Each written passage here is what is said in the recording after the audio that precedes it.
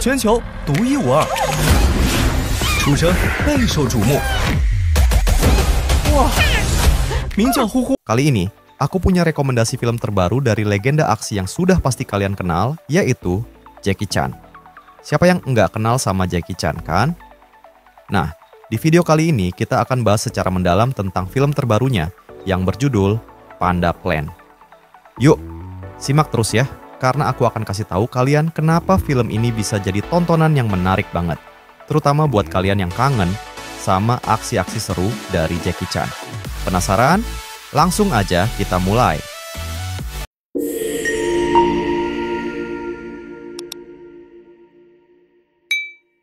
Panda Plan adalah film aksi komedi terbaru yang disutradarai oleh Luan Zhang. Film ini punya cerita yang ditulis oleh Luan Zhang, Wei Shu, dan Meng Ida.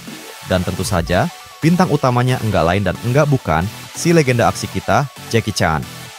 Di sini, Jackie Chan berperan sebagai seorang aktor laga terkenal yang sudah lama enggak tampil di depan kamera.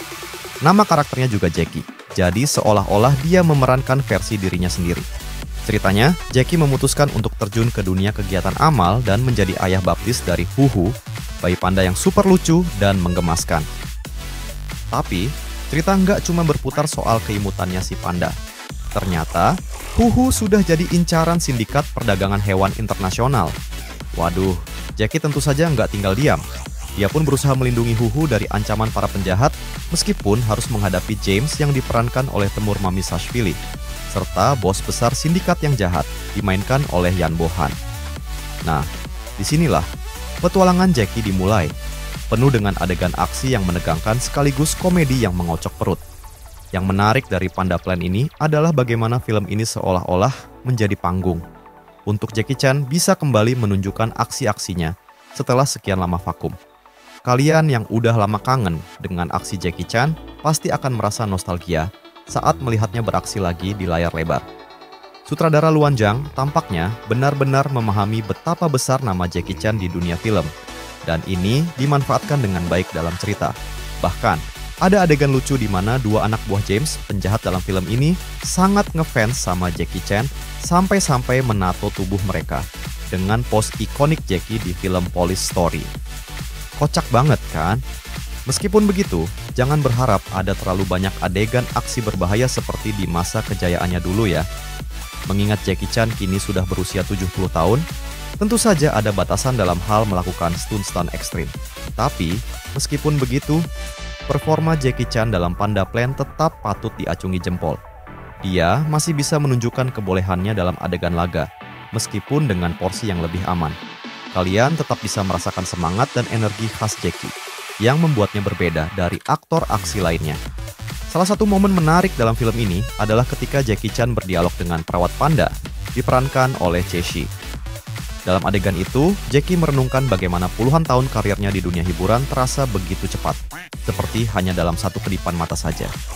Jackie juga mengingat kembali awal mula kenapa dia memilih jalan sebagai aktor laga.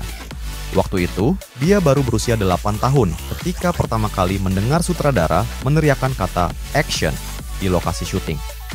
Sejak saat itu, kata action menjadi semangat hidupnya, yang mendorongnya untuk terus berkarya dan menampilkan yang terbaik dalam setiap film yang dia bintangi. Sisi komedi dari Panda Plan juga enggak kalah menarik. Xiang Wei, salah satu aktor pendukung di film ini, berhasil mencuri perhatian dengan penampilannya yang sangat menghibur. Humornya universal, jadi siapa pun bisa menikmati lelucon-lelucon yang disajikan dalam film ini, seperti yang sering kita temukan di film-film Mandarin lainnya. Ada banyak momen yang bikin kita tertawa, dari tingkah lucu Huhu si bayi panda hingga interaksi antar karakter yang kocak. Nah, buat kalian yang mencari tontonan keluarga atau sekadar ingin bernostalgia dengan aksi-aksi Jackie Chan, Panda Plan adalah pilihan yang tepat. Film ini menghadirkan perpaduan yang pas antara aksi dan komedi, dan pastinya akan membawa kalian pada kenangan indah tentang masa-masa kejayaan Jackie Chan di dunia film laga. Jadi, itulah ulasan lengkap kita tentang Panda Plan. Film ini benar-benar memberikan kita pengalaman menonton yang seru, lucu, dan penuh nostalgia. Meskipun Jackie Chan sudah tidak muda lagi, tapi dia tetap mampu memberikan performa yang mengesankan.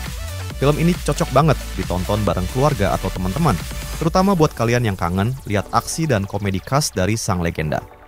Kalau kalian suka video ini, jangan lupa kasih like, share, dan tentu saja subscribe channel ini biar enggak ketinggalan konten-konten menarik lainnya.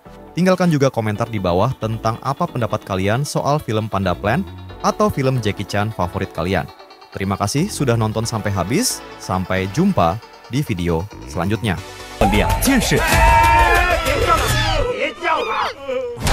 睡觉，卖萌，睡觉，卖萌，睡觉，卖萌。他这个世界他只喝牛奶。 犀牛算牛。